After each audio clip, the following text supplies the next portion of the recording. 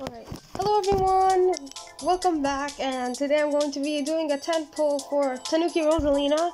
The stats of this pipe are actually pretty good. Well, yeah, let's get started with the first 10. Okay, can it be gold? Come on, gold. Why is it always green? Why is it always green?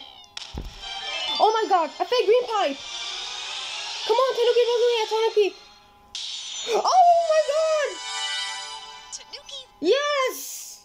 I got her!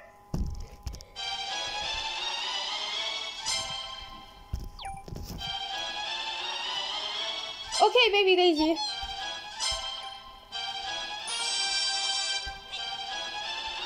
Turbo Yoshi. Red Shell Parachute. Koopa Dasher to 5.